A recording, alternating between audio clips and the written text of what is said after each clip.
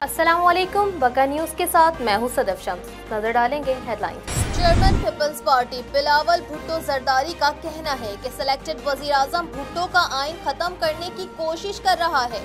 تمہیں وارننگ دے رہا ہوں کہ اٹھارویں ترمیم ختم کرنے کی کوشش کی تو ایک لات مار کر آپ کی حکومت ختم کر دوں گا۔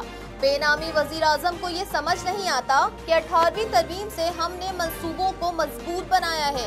وہ انہیں سمجھائے کہ معیشت چندے، حکومت چابی اور ملک جادو سے نہیں چلتا۔ یہ کس قسم کا بزدل وزیر اعظم ہے جو نہ مودی کے خلاف بات کرتا ہے اور نہ ہی کلدم تنظیموں اور دہشت گردوں کے خلاف بات کرتا ہے؟ بھارت کا پاکستانی ایف سولہ طیارہ مار گرانے کا جھوٹا دعویٰ بے نقاب ہو گیا اور امریکی جریدے نے اپنی رپورٹ میں کہا ہے کہ پاکستانی ایف سولہ طیاروں کی گنتی کی گئی، وہ تعداد میں پورے ہیں۔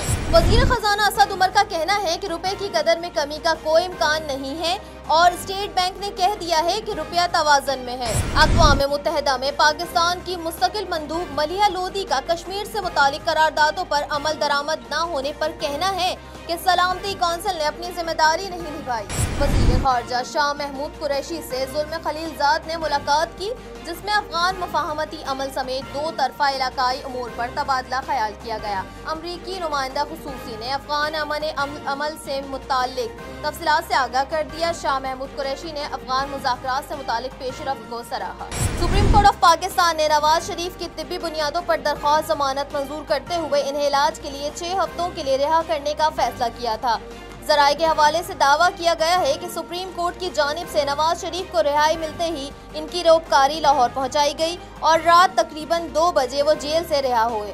تاہم نواز شریف کے روپکار کے خلاف ضابطۂ ترسیل سے معطل ہونے والے ملازمین کی تعداد چار ہو گئی۔ پنجاب کے صوبائی دارالحکومت لاہور میں کلعدم تنظیم داعش سے تعلق رکھنے والے دہشت گرد کی جانب سے حملے کے خطرے پر حساس اداروں نے تھریٹ آلرٹ جاری کر دیا۔ سابق صدر آصف علی زرداری نے کہا کہ حکمرانوں کو ایوانوں سے نکال دینے کا وقت آ گیا ہے۔ میں گھر میں ہوں یا جیل میں، پیپلز پارٹی انہیں حکومت سے نکال کر رہے گی۔ جلد تحریک کی کال دیں گے۔ میں نے الیکشن کے موقع پر ہی کہہ دیا تھا کہ یہ اٹھارویں ترمیم کو ختم کرنے کے در پہ ہیں۔ اور سابق وزیر خزانہ مفتہ اسماعیل نے کہا ہے کہ روپے کی قدر میں کمی کے باوجود ٹیکس اکٹھا کرنے میں کیوں کمی آئی ہے۔